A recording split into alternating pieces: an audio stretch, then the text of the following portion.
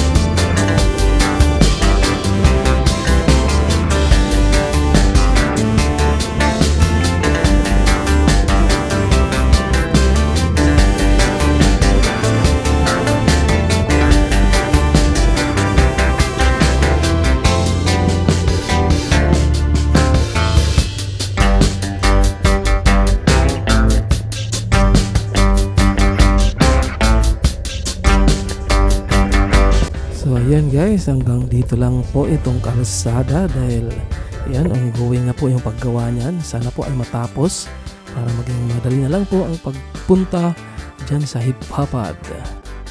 Itong direction guys ay papuntang Hipapad Eastern Samar po ito.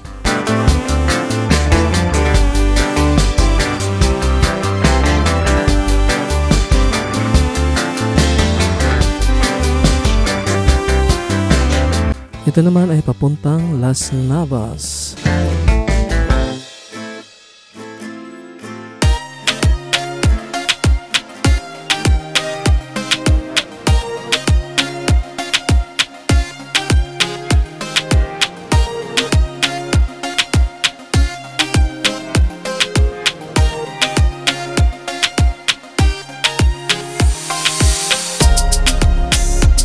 Yung sa kanan po na nakikita nyo, ito po ay papuntang Barangay San Francisco dito po sa Las Navas.